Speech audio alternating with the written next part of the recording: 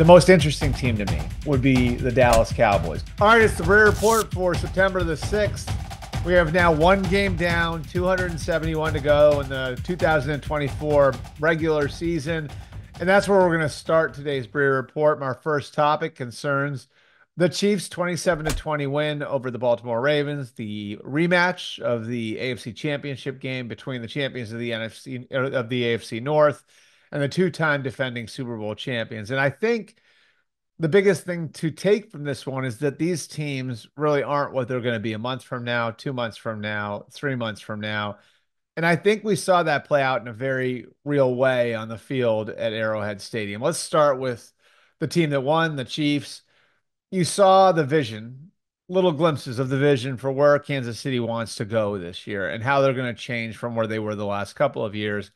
It's been three off seasons now since they traded Tyreek Hill.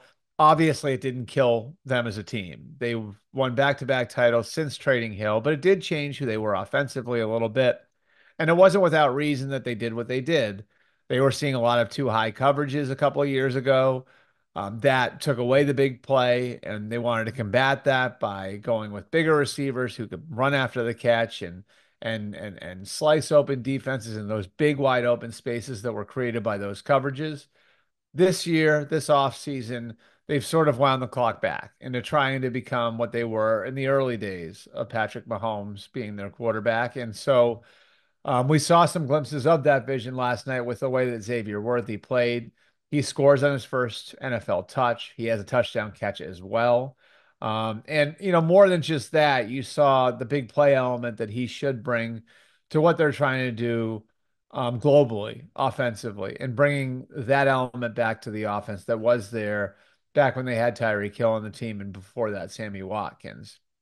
So, how is that going to manifest? Well, it's going to manifest over time with Xavier Worthy getting more reps and then Hollywood Brown getting back in the lineup. And this is something that we talked about back in the summer um, one thing that was really clear um, in, in the way the Chiefs put the team together and the way they put the offense in particular together is that they wanted to not only create those big plays with Hollywood and with Xavier Worthy, but they wanted to use those two players to again create more space underneath so the guys who they have that can run, run after the catch have a better opportunity to do that. Sort of the old dynamic you used to see almost 20 years ago now between Randy Moss and Wes Welker, where Randy Moss is going downfield and Wes Welker is taking advantage of all the space he's creating. So they're they want to do that eventually with Worthy and Brown on the outside, and then Rashee Rice and Travis Kelce on the inside. Again, you got a glimpse of it last night, but it was with a rookie who's still learning his way, and it was without Hollywood Brown out there. So, as good as the Chiefs' offense looked at times, I'm here to tell you there's a good chance it's going to be even better when it's fully formed six, eight, ten weeks from now. As for the Ravens, um, there's no question that their offensive line was the biggest question on the roster coming into training camp. They feel good about where their offensive line is, but that does not mean there weren't going to be hiccups. Now, the good news is they've got a couple of very solid foundation pieces in left tackle, Ronnie Stanley, who had his issues staying on side yesterday, but still a really good left tackle and center Tyler Linderbaum. Where the growth is needed is everywhere else. 60% of the offensive line that they started in the AFC title game was not out there on Thursday night. Kevin Zeitler's in Detroit, John Simpson and Morgan Moses are with the Jets now. And in their places are guys that have been developed through the system. And the Ravens have a ton of confidence in their ability to develop guys through the system, but that does not mean there's not a learning curve when a guy becomes a starter for the first time. So for Daniel Faalele and Andrew Vorhees at guard and and and, for Roger uh, Rosen Rosengarten on uh, at right tackle, it's going to take some time, and it's going to take some time for the five guys to learn to play together. They had such a veteran group last year and so much experience on that offensive line. There's going to be a difference in the way it's going to look early on this year. I would trust and believe in what the Ravens are doing and their ability not only to draft and develop, but identify the guys that they believe have earned the right to start. So I think Rosengarten and Faalele and Vorhees will all go there. It just might take a little bit of time to get there, and it might look a little different for the first few weeks of the season than it will when we get to November and December. Topic number two Um, there are still some lingering quarter, uh, contract situations out there. One got tied up today with Jalen Ramsey doing a contract adjustment with the uh, with the with the Miami Dolphins that puts them back in line with what the top corners in football make. I'd say the biggest one that's sitting out there undone and and and could be a factor in the way that Week One is played is Ja'Marr Chase's situation in Cincinnati. I think there's a deal to be done there. I think there's a deal to be done there in the next 24 hours. Whether or not it gets done, I'm not sure. I'd be more 50-50 on that. But in so many ways, the CeeDee Lamb deal getting done in Dallas a couple of weeks ago, and we'll get to CeeDee a little more in depth here in a minute, but the CeeDee Lamb deal getting done in Dallas really simplified the situation in Cincinnati. The reason why is because Justin Jefferson's deal truly was an outlier.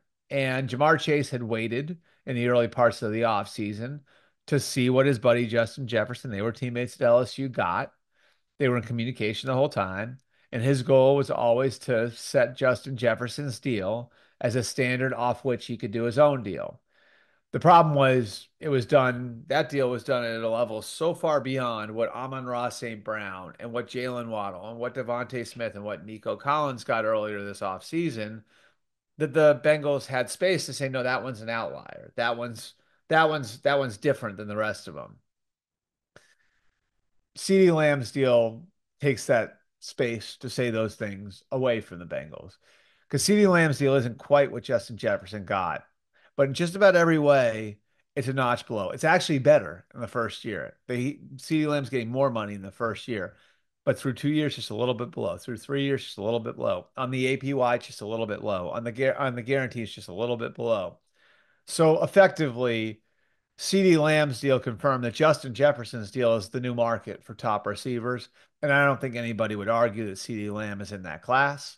So whether it's now, a year from now, the Bengals are going to have to pay at that rate.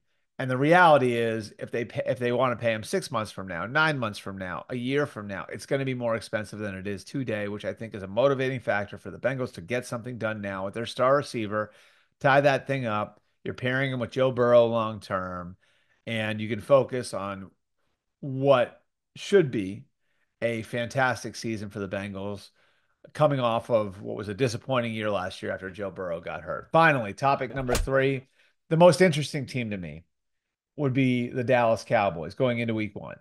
Um, I look at where Dallas is, and there's even for them a lot going on, right? You've got Mike McCarthy in a contract year. You've got CeeDee Lamb having missed training camp. You have Dak Prescott's contract situation lingering out there. You have, I mean, on the next level down, you have Micah Parsons playing a new, new defense. You have Mike Zimmer taking over for Dan Quinn.